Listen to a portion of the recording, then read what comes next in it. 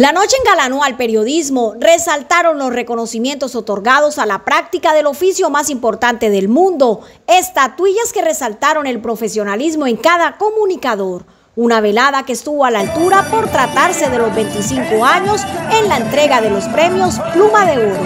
Muy complacido con lo, que ha sido esta versión número 25 de los Pluma de Oro de la Asociación de Periodistas de Barranca Bermeja, concurso de periodistas para periodistas.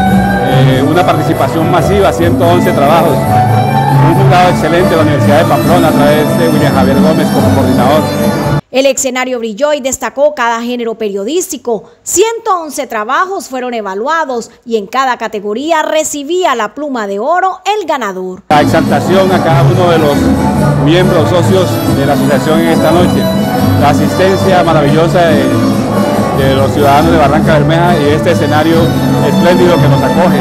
Esta versión permitió despedir un año de altos y bajos en las comunicaciones. El informar de manera contundente y creíble cada historia demostró que en Barranca Bermeja el periodismo es confiable. Son momentos muy eh, impactantes para la vida de uno como persona, como periodista, estar al frente de una jornada como esta. Un próximo año los volverá a reunir, entendiendo que a través de contar historias también se percibe un mundo diferente, un evento de periodistas para periodistas.